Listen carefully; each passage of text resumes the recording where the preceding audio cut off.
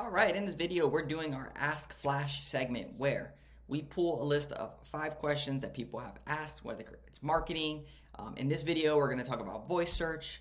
We're gonna talk about what to do when you're just starting out. We're gonna talk about how to scale your business. We're gonna talk about retargeting. So we got a lot of good stuff, a lot of good questions. And I'm gonna go through and share strategies that we've implemented based off of your questions. So if you have questions about marketing, about growing a local service business, drop a comment down below and we'll use it on our next segment when it comes to Ask Phlash.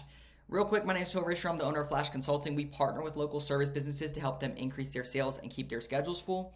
On this channel, we share strategies to help you grow. So if you like stuff like this, hit like, hit subscribe, and let's get right into the content. All right, so the first question we have is from Bob. Bob says, I'm looking to re engage clients. Let's say you have 689 clients that you haven't completed work for in over a year. What have you done to get these clients re engaged? So in the in the funnel that we operate on, we typically look at three different sections. We look at visibility, which is new customers, converting the customers into sale, and then retargeting.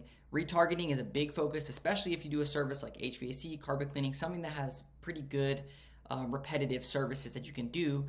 And so, how would we recommend re-engaging clients? The first thing is you got to be doing some type of a monthly newsletter, whether that's uh, newsletter about things that are going on in your local community. It can also be case studies, reviews, uh, social media content that you've been sharing, just everything consolidated into one place. Why?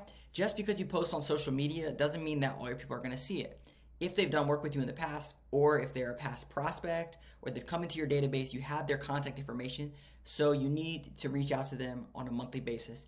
Also, you just stay top of mind. So that's the first thing to re engage clients. The second thing you can do is inside of those newsletters, you can do special offers. So if it's spring, summer, fall, winter, whatever you're going to offer, you add some special offers into those newsletters. You can also do special offers that are just one-time email offers that are outside of your newsletter. And this is a great way. You can do this in text message, you can do this in email, you can do voicemail drops, you can call them, you can do postcards which are not the most effective way to re-engage clients. They do work, but it's also it's kind of expensive. Uh, but those are some strategies to help re-engage clients if I was had a low budget and I was going to do this, I would set up like a Mailchimp account or some type of email marketing in my CRM, and I would just set up a simple newsletter template, and I would use that every single month, and I would put a special offer in there to try and re-engage clients and try to get some referrals in. So that's what I would do there. Um, all right, let's see. What is our next question here? We have, hi, we're a small cleaning company looking to grow our clientele. I'm not marketing savvy at all. Any suggestion would greatly appreciate. All right, so let's say you're a small company, you're just starting out. What should you do? I definitely recommend joining type of a networking group, and BNI is one that we're a part of, Business Network International. The reason it's so good is because everyone in that room that you meet with on a weekly basis is a sales team for you out in the marketplace. So if you do own a small cleaning company, then let's say that there's a carpet cleaning company in there, a painter in there, a remodeler in there. If you build relationships with them, they can refer you business after their service. You can go in and clean the home, and then you can get them on some type of um, monthly or quarterly cleaning, and you can start to build your snowball of business like that. So if you're not marketing savvy and you don't know technology and stuff, that's a really good way to just get deals going quickly.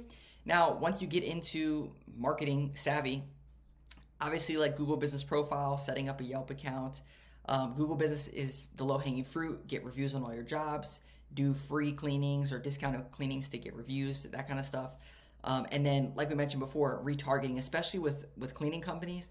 This is you can you can retarget people weekly, monthly, um, every holiday. There should be a special, that kind of stuff.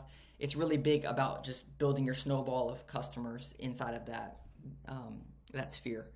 All right, next question.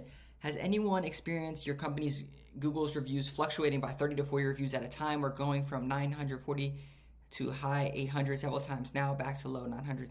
So this is the big thing that we're seeing a lot of right now where on Google, they're going through and removing fake reviews that they deem fake and they're also la- putting lag times on new reviews coming in.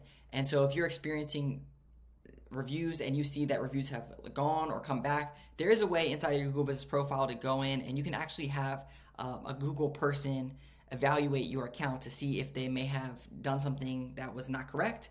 But also, if you see these big ranges of 30 to 40 reviews, that could probably be what it is, is that they're really just trying to go through and clean up. The way this is, like, let's say that there's a husband and wife and they're on the same IP address or in the same household or something like that, and they both leave you a review, that could be why. Um, or if there is someone that probably is in like California and you're in New York and all their stuff is in California and they left you a review in New York, they're looking at that saying, okay, they've never left a review in New York, so have they been to New York before? And they might be removing it. So there's a bunch of things. Um, there's a there's a Federal Trade Commission um, law that's actually coming out that's going through like fake reviews, paying for reviews, suppressing negative reviews. So there's a lot of changes going on when it comes to reviews. And so that's definitely something to monitor, but that's probably what it is. All right, and let's get to the last question. What has been your best marketing strategy besides Google to drive in work? I feel like the days of uh, drive time radio and live news reads just don't hit like they used to. All right, Tyler. Yeah, you're right, man. Uh, no, don't. Radio is good, but I mean, if you're like doing some heavy branding stuff. So, besides Google, what I would say is business to business relationships.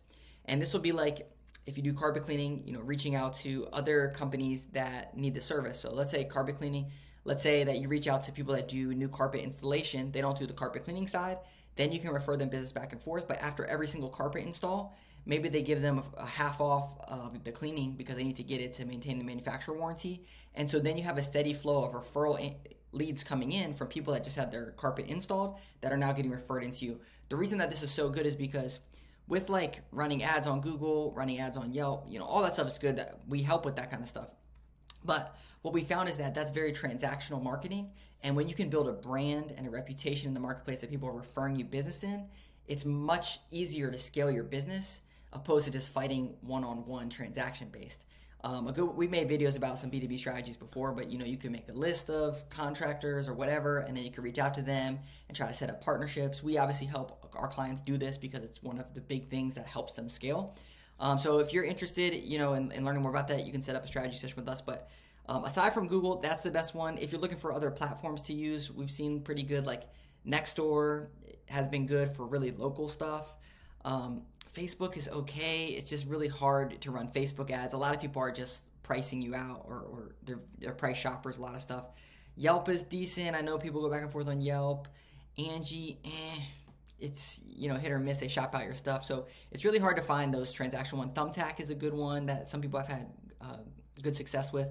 But really, what we found is from like an SEO search engine optimization perspective, it's just about building your brand, building your reputation, and letting that snowball. Um, obviously, Google local service ads, Google search ads work good too.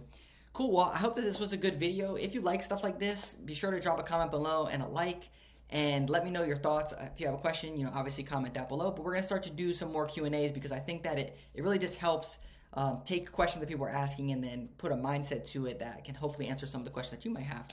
Cool. Hit like and subscribe. We'll see you in the next video.